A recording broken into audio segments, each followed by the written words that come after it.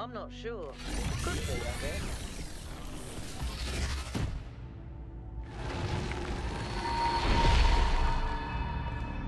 What? What?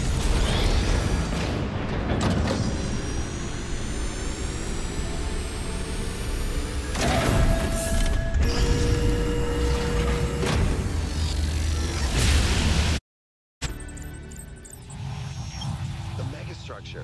It's opening. Three receivers, three towers, three beams, as we suspected. I think this is an invitation. Doesn't look that inviting to me.